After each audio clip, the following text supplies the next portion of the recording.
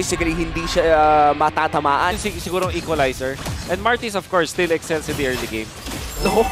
Pero, definitely, ang difference ngayon, At makukuha nga ba nila agad? Feather Dare Strike nandyan na. pero si Exort ay may sagot at ginamit ang kanyang pakpak. Shinake and bake, lahat iniwasan pero light. Mind Slide, mukhang siya ang kukombohan. Phantom Execution in. Oy, nakikita naman natin na merong ah, punta na magagawa dito para alalayan ang mga miyembro. H2. Nagkaagawan na pero dito ha, nakita natin yung decimate ginamit at ito at walang contest na magaganap pero ang kanilang pakay ay si Nuts. Na 600 pero nakakahanap ang TNC Hesu. At ito na nga yung sinasabi natin na pipilas. Charge. Ikaw na ang papasahan na at sila ay napakaganda ng pwesto. Pero walang tinamaan at nahuli nila si Exort. Eman dito. Dalawang junglers, isa bago, nahanap pa nga. Light, kanina pa napaparusahan netong kufra ni Be. So, knowing na, ayun na nga. Ayun na.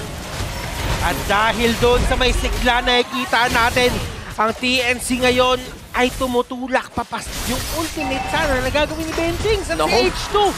Masyado atang napalalim. At merong wild charge na gagamitin na unti-unti na nauubos dito. Yung mga miyembro ng side at ng RSG. At Eh, merong point of nature na gamit na. At si Innocent dito napakababa na ng buhay. Pero slight na lang ang nasa dapat niya. Eh man, karating ang buhay. Dalawa na lang silang natitira. King Kong! na Meron Arsa, dash. pero si King Kong, pauli yan. Tang sila. Playmaker, it's either Bentings or Hesu, pero si Bentings ang mauuna. Nahuli na si Eman, pero may kagat talaga ng Seven Lions dito. Walang flicker na maibabato at si Escalera. Tumatakbo pa, sinusubukan din talaga i-take down si Eman. Pero hindi enough yung damage. Para sa side ng TNC Light, looking for one, nakahanap ng isa.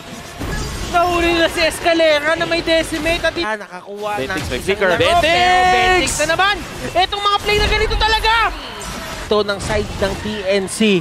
Yung pagpermanenteng pagbaba ng botones ni Coach Left. At nakikita naman natin, meron na initiation na nagaganap. Si Nats dito, nakahuli na isang tao. At possible na si Bentix ay tutumba. Yes, he will.